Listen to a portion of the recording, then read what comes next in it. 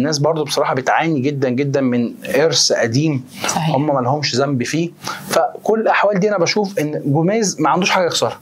هو في وضع ما عملش حاجة يخسرها. يعني لو الزمالك خسر هو طبيعي إن أنا أخسر. يعني تعالى بقى نحسبها من من أوضة لبس نادي الزمالك. ما عملش آه، عادي. ده, ده مش مش مفاجأة.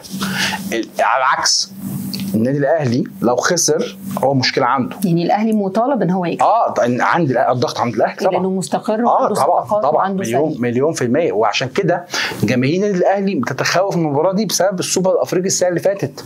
قدام اتحاد العاصمة آه. الجزائري.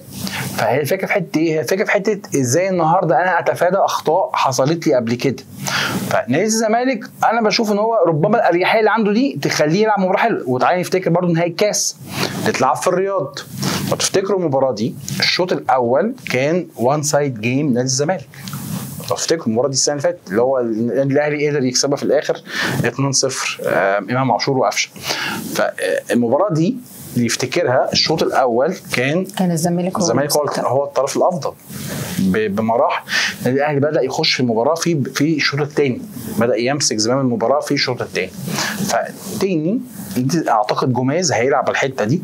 هيحاول إن هو يقفل نص الملعب بدونجا ومحمد شحاتة بس هو بكل أمانة لو أي واحد من الاثنين دول وقع هو ما عندوش بديل. هي دي ال- خط وسط نادي الزمالك واقف قايم على اثنين لعيبة ما لهمش تالت. لأن ناصر ماهر عبد الله السعيد كل اللعيبة دي كلها هجوميين. ما عندوش دفاع ما عندوش عمق. وكمان أشرف رؤى مشي.